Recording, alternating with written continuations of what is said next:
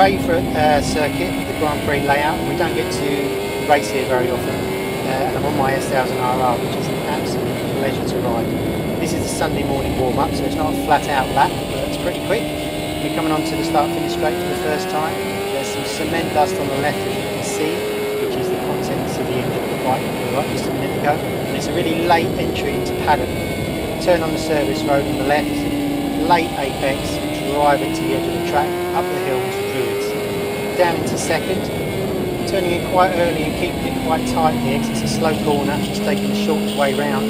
Uh, and then picking it up, driving it down the hill, only using about two thirds of the track coming out.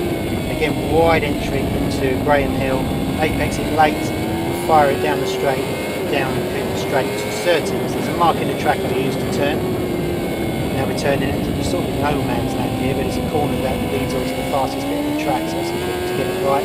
Just a wheelie over here in second and third, so I'm just feathering the back brake. I'm down into sixth, which is about 160 mile an hour, and braking for Hawthorns on that upslope, throwing it in, changing it down two gears. You need the momentum through here to uh, pull fourth gear. So squirting along here, down one into Westfield, late apex, drive it to the edge of the track, into fourth gear and straight line it down the hill, Dingle Dell, up over the hill to Sheene Curve, back to third, running over the curve on momentum, two thirds of the track coming out, pull it over to the right, and we're into which is third gear, and it's like a mini carousel at the Nürburgring. Squirt it out of here, down the straight, and uh, into fourth gear, back to third, turning at this service road, apex it, and then drive to the edge of the track, pull it back round, straight line it down the straight to fifth gear, and again it's 160 mile an hour.